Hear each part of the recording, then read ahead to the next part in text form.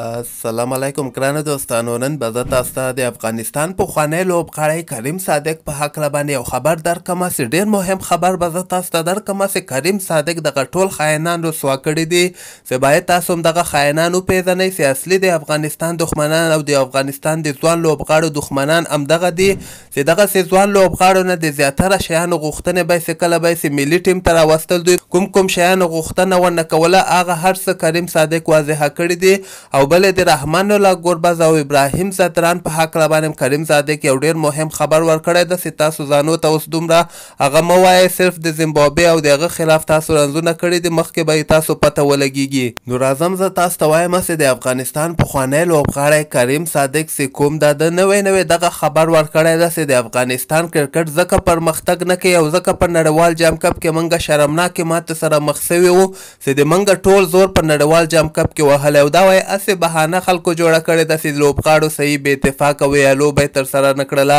وای دغه دی افغانستان ټول زوړ اوسې هغه نړیوال جام کپ کې وکته ځکه خو موږ سره وای خخه لوبغاړم په افغانستان کې نه راځي دی دغه غټ لامر دغه ده سي د افغانستان سلیکټران سي کوم دی دغه غټ غله دی یعنی دوی سلیکټران لوبغاړی سي خپل کوشش وکي ټیم ته په سختیو باندې راسي بیا هلته سلیکټران سي کوم دی سي زیاتره وخت کې د افغانستان سلیکټران به رئیس احمد زی او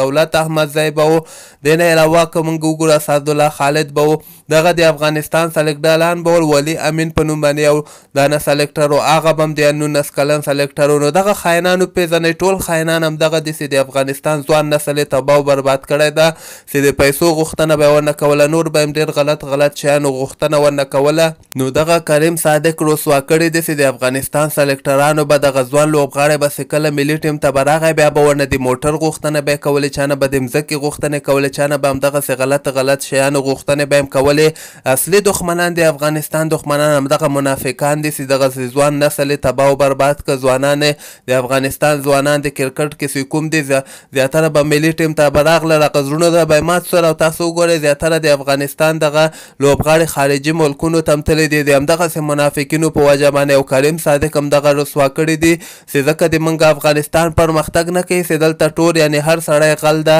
هر سړی خپل وس مطابق باندی غلا کوی او ځوانانو سره یعنی دی ځوانانو حق هم خوړل کیږی او دغوی سره زیاتی هم کیږی او دی پیسو بدل کی ملی ټیم ته اچی خو پیسی ورنه ډیری زیاتی اخلی دی مځکو غوښتنه ورنه کیږی دی نورو غلطو غلط شیانو غوښتنه ورنه کیږی نو تاسو بیا خپله سوچ وکړئ چې افغانستان به په نړیوال جام کپ کې نهه واړه لوبې څنګه نه بایلي چې دلته د یو چا حق په بل چا باندې خوړل کیږي. او دې نه علاوه کریم صادق بیا د افغانستان ځوان لوبغاړی رحمان الله ګربز او ابراهیم ځدران په هکله باندې دغسې خبر ورکړی ده چې دوی د باید ډیر زیات په هوا باندې نه جګیږي ځکه دوی د ایلینډ سره لوبه کړې زیمبابوې سره یې لوبې کړې دي دا خو څه مخکې دوی کرکټ ته ورسېږي دغه مضبوطو ټیمونو سره دوی برابر شي بیا به د دوی پته ولګېږي چې هلته یو سل څلوېښت ځونه تېز بولر او ورسره سوینګ او ان سوینګ دغلته به بیا د دوی معلومات وشي او همدغسې رحمان الله ګوربز که تاسو ته په سریلانکا پریمېرلیګ کې یاد وي یو سل څلوېښت سپیډ بولر یې بیخي وهلی نه ده یعنې دلته هلته د رحمان الله ګوربز بیخي خلاف یې نه چلېږي همدغه یو سل شل نه واخله تر یو سل پنځه ویشت حتی یو سل دېرش سپیډ بولر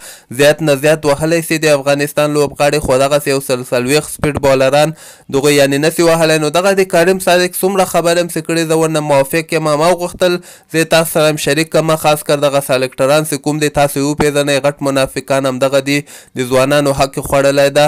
دغه کي رئیس احمد زی ده دولت احمد زی ده اسد الله خالد ده او دې نه علاوه ولي امين ده او بعضې نور هم سلکټران دي خو دغه وړ کې زه يو څو دانې پېزنم چې ما تاسو ته په ګوته باندې وکړل يعنې زياتره وخت کې همدغه سلکټ د افغانستان سلکټران يي.